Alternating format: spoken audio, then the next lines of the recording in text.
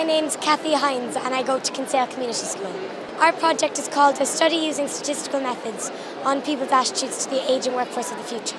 It's basically seeing how people feel towards having older people in the workforce.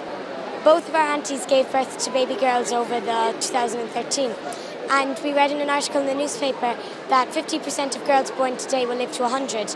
We referenced this article and it came from an article in The Lancet in 2009. We designed a questionnaire with the help of Professor John Brown of Epidemiology in UCC and he helped us to structure our questions. We then handed our survey out to a random population of 1,147 and we got um, great responses and there was many all over Ireland. We went all around Cork and then I went to my relatives in Dublin. Kathy had some relatives in Kanturk and, and Mayo and we got some done in Sligo as well. We asked people how old they feel as well as how old they are. When we interviewed Minister Kathleen Lynch, she gave us this. She said that our country as a whole had to stop talking about chronological age, and the finding was that 63% of the respondents felt younger than their actual age, and 17% felt older. The remaining 10% felt actually the same age as they are. Our conclusions were that people haven't come to terms with the fact that they're going to have to work longer, and people seem to think that they're going to be able to retire before they get old.